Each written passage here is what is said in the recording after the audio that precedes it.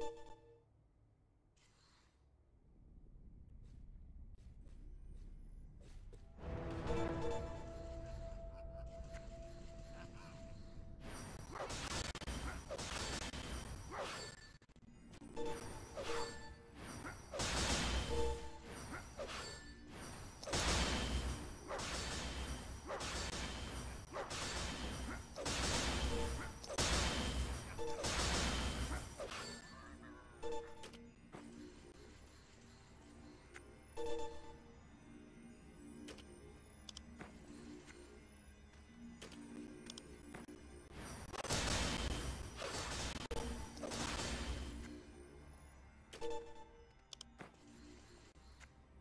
Thank